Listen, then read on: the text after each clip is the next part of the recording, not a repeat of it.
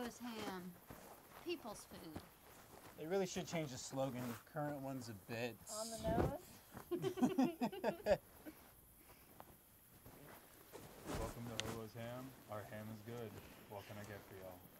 Um, we'll do the regular. We'll do uh, five ham hamburgers and whatever you think is good. Gotcha. Okay, Bets, your turn. Um, always one degree away from a good one. okay, okay.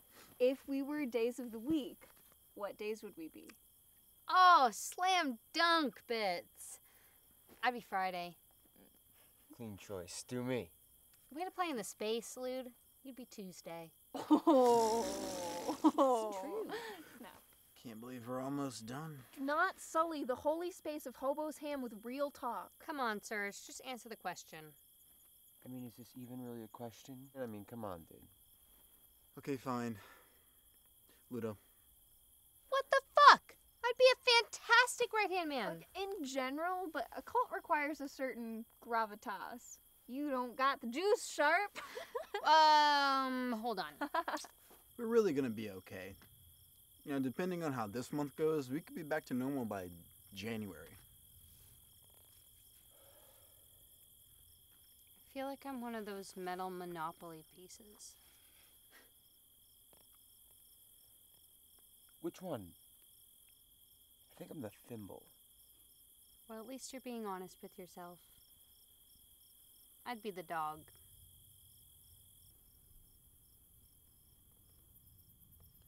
I call the car. Can I be Mario? Yeah, sure. I love mashups.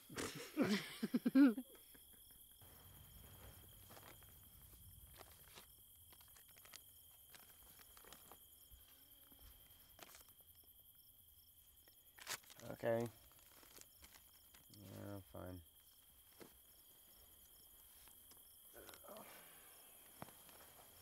Be out back.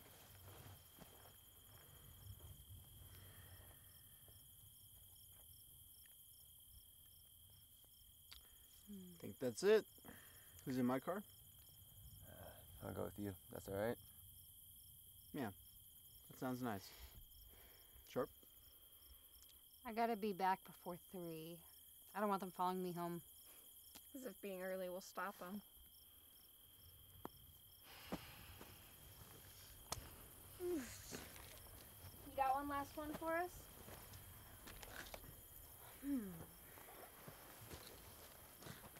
How much jello is too much? Hmm, good one.